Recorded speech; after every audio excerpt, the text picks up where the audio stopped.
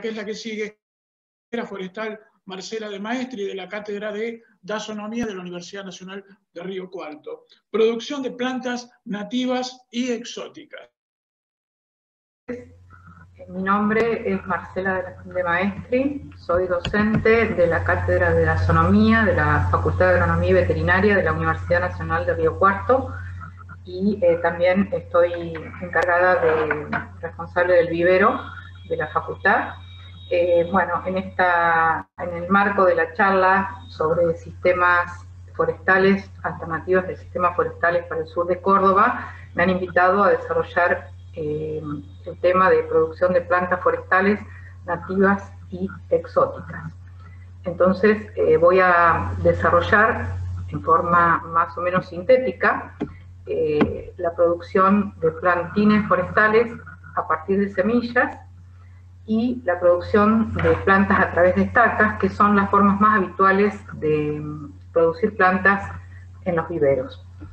Eh, para mm, comenzar mm, eh, con la producción por semillas, es interesante comprender las fases de crecimiento de, de los plantines en el vivero, y eh, la primera fase en la producción se inicia con una etapa que se denomina establecimiento, que se da eh, en la siembra, en la germinación eh, y hasta el estado de plántula. es importante porque esta fase es una de las más críticas en el vivero.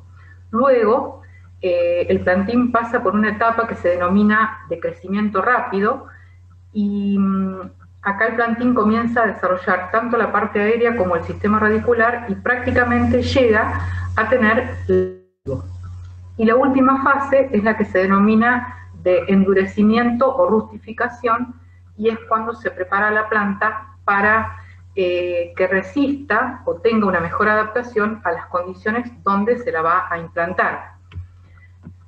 En, estas etapas se realizan distintos, eh, distintos manejos que nosotros llamamos labores o tratamientos culturales, como todo lo que es la preparación y desinfección de sustratos, micorrización, poda de raíces, desmalezado, riego, fertilización y el manejo integrado de plagas y enfermedades para lograr finalmente un plantín sano y de buena calidad.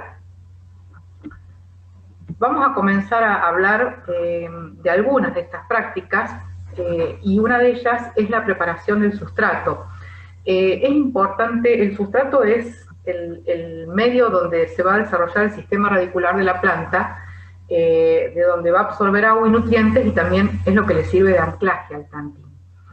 Por lo tanto, es importante lograr un buen equilibrio en la mezcla.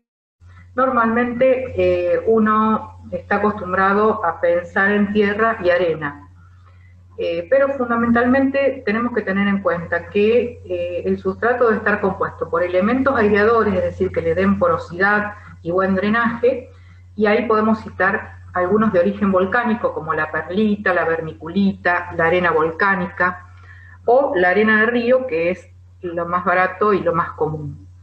Y los elementos que retienen agua, Muchos viveros utilizan turba, fibra de coco, son elementos que habitualmente no tenemos cerca y que tienen un costo más elevado, pero también se pueden utilizar otros elementos que pueden ser residuos de algunas eh, producciones, como por ejemplo la corteza de árboles, la cáscara de arroz, los estiércoles, que em, bajo mm, condiciones de compostación, es decir, con algún tratamiento, pueden perfectamente ser usados en las mezclas eh, como sustratos de cultivo. Y el compuesto, que también es muy interesante, que también se realiza a partir de desechos orgánicos, que se descomponen con la ayuda de la lombriz roja, llamada californiana, y que eh, generalmente se obtiene el, humus de lombriz. Bien, todos estos elementos, eh, tanto aireadores como elementos que retienen agua, eh, se pueden mezclar para generar un sustrato que sea equilibrado. Normalmente, por una cuestión práctica, los sustratos se preparan con dos o tres de estos elementos en partes iguales. El otro aspecto también a tener en cuenta en la producción es el de los envases o contenedores. Y acá es importante mencionar las dimensiones, eh, fundamentalmente el diámetro y la profundidad o la altura que va a tener el contenedor. Bueno, estas dos dimensiones me va a determinar el volumen. Eh, son importantes porque por ahí uno, eh, o en, general está, se piensa que las plantas, cuanto más grandes, van a crecer mucho más rápido en el campo. En el caso de los plantines forestales, se buscan plantas pequeñas porque van a tener mejor adaptación. Y además, como a veces se piensa en llevar 600 o plantar 600, 700 plantas por hectárea, 800, depende, el volumen que, hay que trasladar es muy grande. Entonces se buscan plantines que eh, sean equilibrados, eh, que sean de, menor tamaño, eh, de bajo poco peso, pero lograr un buen plantín. Acá tenemos diámetros, los diámetros de las macetas pueden variar entre 4 a 7 centímetros, mientras que la altura puede variar entre 11 a 30 centímetros, utilizando eh, distintos tipos de envases o contenedores que ya los vamos a ver más adelante. Pero las tradicionales bolsas de polietileno, por ejemplo para pino, eh, generalmente para pino y para eucaliptus se usan bolsas que tengan un diámetro de 5 y una altura de 10 a 12 centímetros, porque estas especies tienen un sistema radicular bastante fibroso y fasciculado, eh, que perfectamente pueden generarse en, ese tamaño de, maceta. Mientras que las especies nativas, por ejemplo, o un roble, tienen raíces mucho más largas, más profundas, y hace falta mm, un, envases mm, de mayor tamaño. Pueden tener un diámetro de 7 centímetros y tener una altura de unos 30 entonces, dependiendo de la especie y de las características de la especie, es la elección de la dimensión del envase. Vemos acá también eh, distintos tipos de materiales eh, tipos y materiales de envases o contenedores. En este caso, bandejas de telgopor que tienen celdas y eh, acá se pueden producir los plantines y pueden pasar todo su ciclo. Eh, en este caso son pinos. Si uno quiere generar plantas de mayor tamaño para llevarlas a ambientes un poco más áridos o semiáridos, puede extraerlas de estas celdas y directamente llevarlas a un envase o contenedor de mayor tamaño. También eh, tenemos estos tubetes que, como vemos en la imagen, que tienen patas y tienen un sistema de portatubetes, eh, que son interesantes porque tanto las bandejas como los, los tubetes eh, pueden durar varios ciclos productivos. Y en la imagen de abajo a la derecha tenemos las tradicionales macetas de polietileno, eh, que son las que se usan en viveros de una infraestructura mm, más tradicional. Bueno, otro tipo de envases son como los que vemos en la imagen, y acá lo que quiero mostrar son eh, las acanaladuras o canaletas que tienen estas macetas o envases que lo que hacen es dirigir el crecimiento de las raíces hacia abajo, de manera que no se, mm, no se produzca el espiralamiento de la raíz. Y otro aspecto también interesante es los agujeros de drenaje, que como estos eh, envases se usan generalmente en, van colocados sobre, mm, en, soportes elevados, eh, cuando las raíces eh, llegan hasta la base y salen y entran en contacto con el aire, se produce la, autopoda. Eh, eso es una práctica que veíamos eh, más arriba, que es la poda de raíces. Entonces, no se necesita, digamos, mano de obra extra para realizar esta actividad. En cuanto a las semillas, eh, las semillas para, para, germinar requieren en algunos casos de algunos tratamientos pregerminativos. estos tratamientos se realizan previo a eh, la siembra, eh, con el objetivo de homogeneizar la germinación y de generar plántulas eh, más o menos del mismo tamaño para que el manejo sea el mismo en todo el lote de plantas. Voy a mencionar algunos tratamientos mm, sencillos y eh, los más habituales. Por ejemplo, uno de ellos es el remojo en agua eh, a distintas temperaturas, eh, que normalmente se hace en, semillas que tienen la cubierta o el tegumento más duro. y como ejemplo voy a citar el algarrobo, que mm, necesita, por ejemplo, con un tratamiento de remojo en agua a temperaturas de 60 grados, 48 horas, eh, luego se lo saca del agua y se lo siembra, eh, se produce la germinación, si la semilla es de buena calidad, en 3 a 4 días. Otro tratamiento que además del remojo en agua, también se, suma lo que es el almacenamiento en frío y se denomina estratificación frío-húmeda. En este caso, las semillas se remojan en agua por en 24 o 48 horas, se extraen del agua, se dejan secar y luego se las conserva en heladera en, temperaturas de 2, 4, 5 grados por un tiempo variable, que puede ser entre 20, 30 días o más, dependiendo de las especies. Y como ejemplo, acá voy a citar a los pinos. El frío lo que hace es romper la dormancia interna que tienen las semillas y prepararlas para la germinación. Y el remojo en agua lo que hace es ablandar el tegumento. Otra práctica también, que es sencilla, es la escarificación mecánica, que simplemente con una lija se, pasan las semillas por una lija, cambian levemente el color, se vuelven más claras, y lo que hace también es disminuir el, tegumento eh, y prepararlas también para la germinación. Em, como práctica, por supuesto, el riego es fundamental eh, y debemos disponer, cuando uno decide producir plantines, de agua en cantidad y en calidad. Cuando hablamos de calidad, hablamos de agua que tengan un pH dentro del... Em, que no sean aguas saladas, mm, sin, en lo posible sin que tengan presencia de sulfatos o cloruros que generen algún problema de crecimiento en las plantas. Y se pueden utilizar distintos sistemas de riego. Cuando uno realiza mm, la siembra en la etapa de establecimiento, es interesante utilizar microaspersores o puede ser una manguera con flor de gota fina, que es algo económico, como vemos en la imagen, de manera de no eh, desenterrar las semillas eh, recién sembradas. Eh, también se pueden usar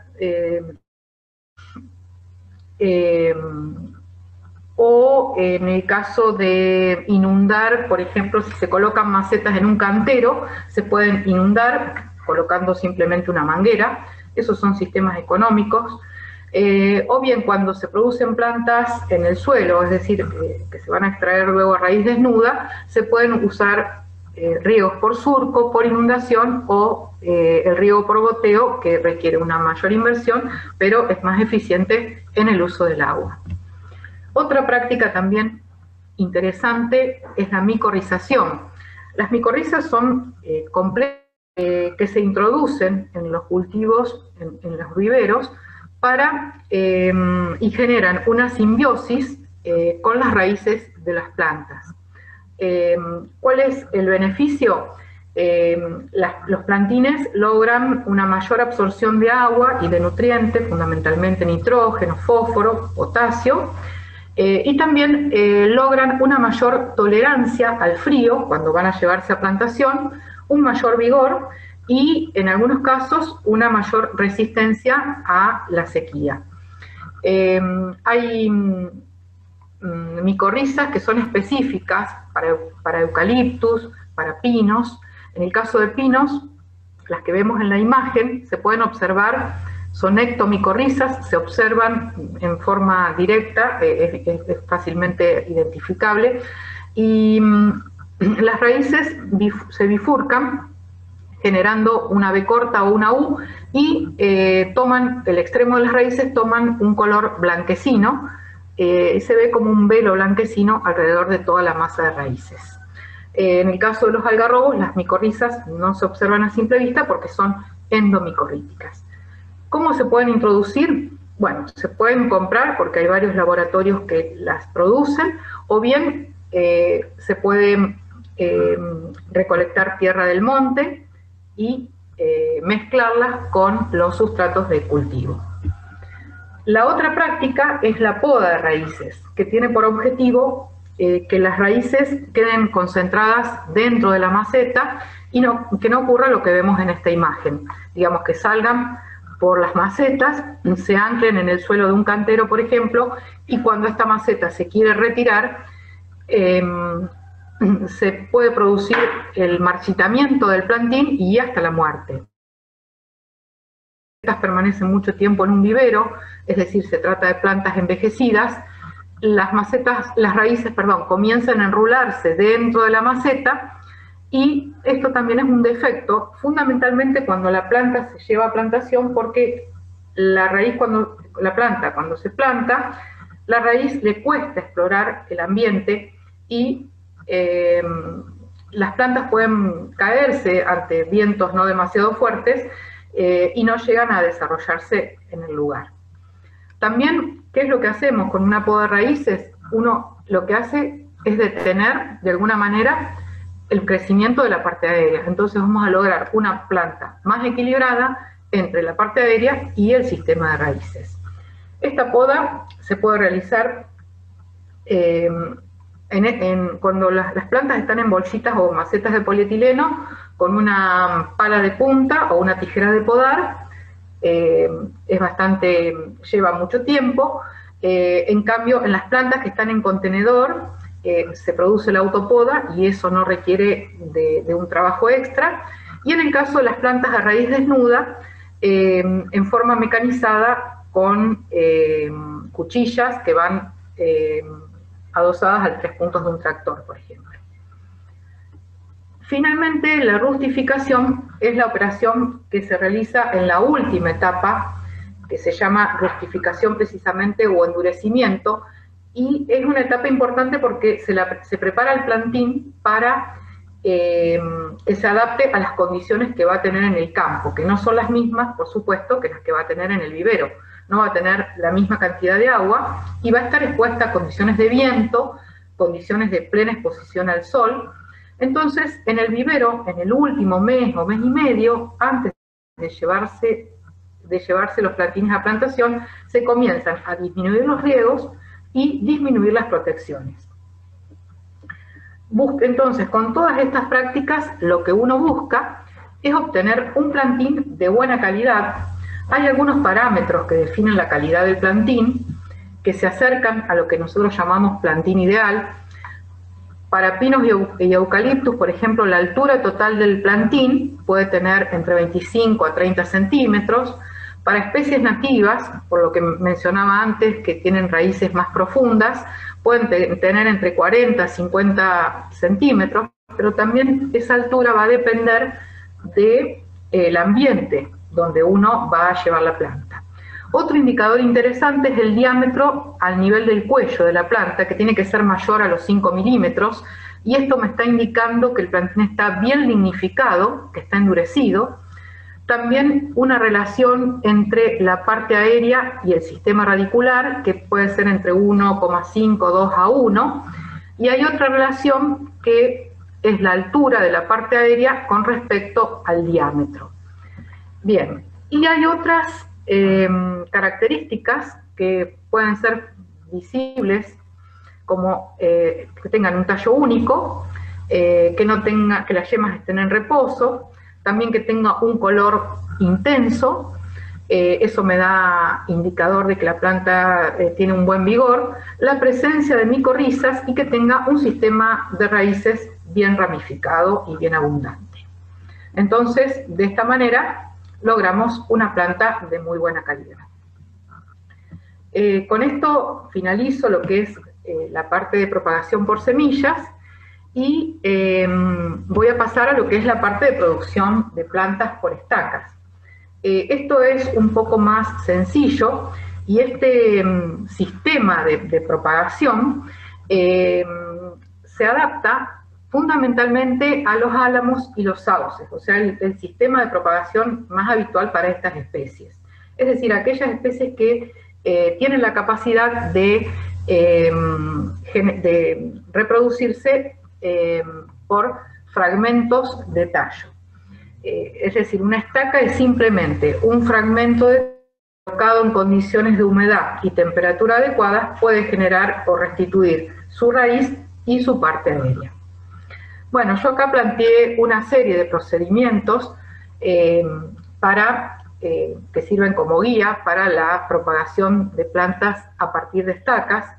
Eh, lo primero es todo lo, referido al manejo de las plantas madres, es decir, de dónde yo voy a obtener el material de propagación, que muchos viveros lo tienen, pero otros viveros directamente compran las estacas a un vivero que es proveedor de este material. El segundo punto es todo lo que es la obtención de las guías y el, almacenamiento de las guías que voy a extraer de las plantas madres, luego el corte de guías y obtención de estacas, acondicionamiento de las estacas en el estaquero y finalmente la obtención de barbados. El barbado es la planta que ya tiene raíz y parte aérea y es el, punto final eh, en, este, en, este procedimiento. Em, acá vemos en la imagen eh, un sector de plantas madres, están a un metro de distancia entre plantas, y estas plantas mm, pueden permanecer entre 10 a 15 años, o sea, un sector permanente en el vivero, y de acá voy a obtener las guías, eh, la, la, rama, la vara guía, de donde voy a extraer la estaca. Bien, ¿cómo es el procedimiento? Anualmente estas guías se cortan, Y las plantas madres se cortan todas las guías que tiene la planta madre y van a quedar como vemos en la imagen. Van a quedar, se hace una poda muy vigorosa y muy, muy intensa, eh, por eso es el tiempo de duración de las plantas madres. Em, y luego em, la planta madre en la primavera-verano va a comenzar a, perdón, en la primavera va a, va a iniciar la brotación y luego en verano, en otoño, estas guías, estas ramas van a crecer, como vemos en esta imagen, y eh, ya en el otoño van a caer las hojas y van a quedar como al comienzo. Bueno, cuando yo corto estas varas guías, voy a obtener distintos materiales que van a tener diámetros y longitudes diferentes. Y puedo obtener estacas que directamente yo las puedo llevar a plantación, estacas que miden entre 30 y 60 centímetros, con eh, fundamentalmente que tengan yemas para poder brotar eh, y generar raíces. Eh, estas estacas yo las puedo plantar, por ejemplo, a las orillas, de una laguna, en un ambiente donde tenga humedad más o menos permanente. También puedo, em, las, ramas que tienen mayores dimensiones, puedo obtener un estacón o bien una vara guía, que la diferencia es que tiene la yema apical, que es lo que guía el crecimiento. Estas, como ven, tienen dimensiones entre un metro veinte a tres metros, en el caso de la vara guía, y estos se pueden plantar, por ejemplo, en un médano, donde la humedad está eh, a mayor profundidad. Entonces necesito llegar con la humedad a la base para que esto genere raíces y pueda después brotar. En este caso no tengo necesidad de generar un barbado y estos materiales van a ser más económicos, pero también eh, hay menor probabilidad de mm, sobrevivencia en la plantación. ¿Cuándo voy a recolectar eh, estas estacas? Las estacas que voy a obtener de las varas guías, yo las puedo recolectar em, a caída de hojas en el otoño, por eso se denominan otoñales o comienzos de invierno.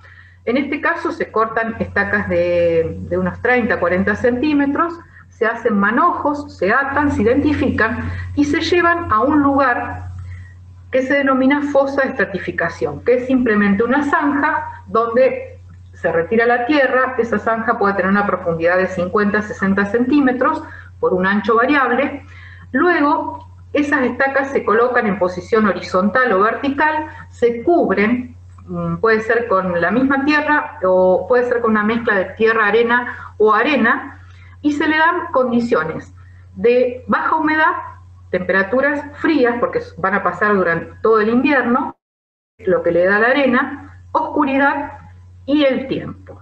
El tiempo que van a permanecer, como dije, hasta fines de invierno.